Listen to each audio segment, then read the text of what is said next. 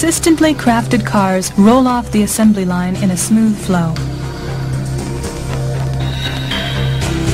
They are alive with the spirit of providing people with quality products through conscientious manufacturing and continuing research and development.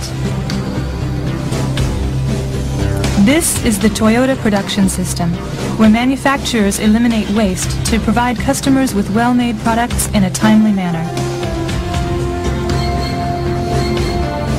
At the heart of the Toyota production system are the concepts of intelligent automation and just-in-time manufacturing. Let's explore the history of that system, which has transformed manufacturing around the world.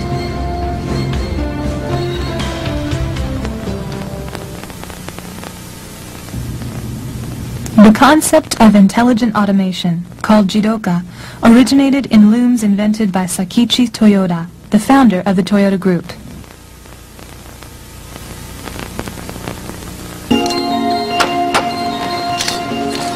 Weaving traditionally had been a very manual kind of work.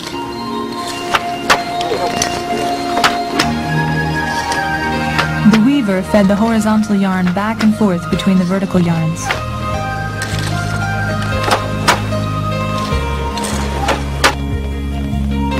Sakichi had watched his mother working at a manual loom and thought of ways to make weaving easier.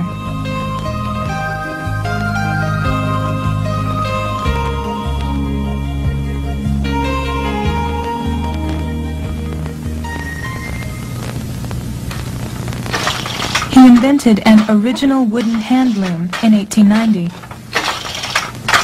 His loom was easy to use and nearly 50% more efficient than previous looms.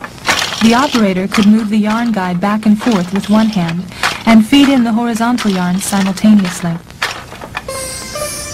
Sakichi then went to work on power looms.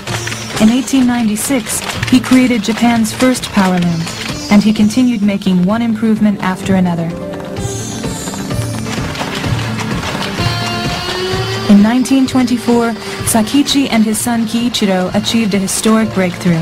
They created the world's first high-speed loom that fed in new weft, the horizontal yarn, reliably without interrupting work. Let's take a look at a feature of their breakthrough non-stop loom, the Model G. Traditional looms wasted material on fabric like this when one of the vertical warp yarns snapped, as often happened. To prevent that